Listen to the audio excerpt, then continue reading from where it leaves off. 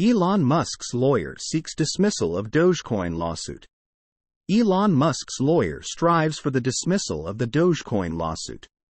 Plaintiffs accuse Musk of insider trading and manipulating the cryptocurrency Dogecoin, costing them billions of dollars.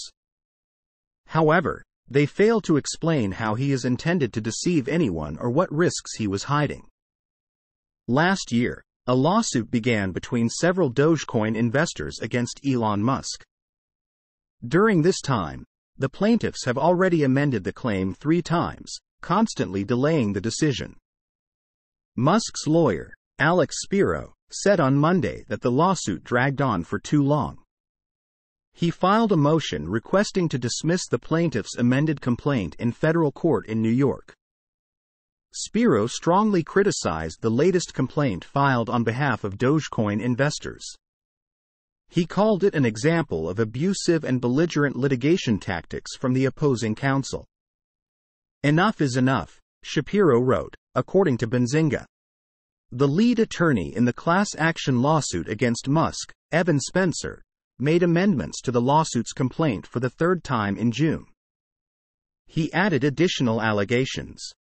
The lawsuit, which originally sought $258 billion in damages, accuses Musk of market manipulation, insider trading, and deliberate acts related to Dogecoin. In April, Musk's lawyers criticized the plaintiffs, saying the investors never explained how Musk intended to deceive anyone or what risks he was hiding.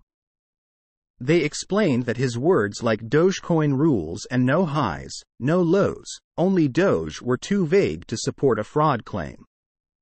In fact, there is nothing illegal in posting words of support for a legitimate cryptocurrency, they explained. There is nothing unlawful about tweeting words of support for, or funny pictures about, a legitimate cryptocurrency that continues to hold a market cap of nearly $10 billion. Musk's lawyers said. This court should put a stop to plaintiff's fantasy and dismiss the complaint. Source. Reposted and summarized from Eva Fox at Tesmanian.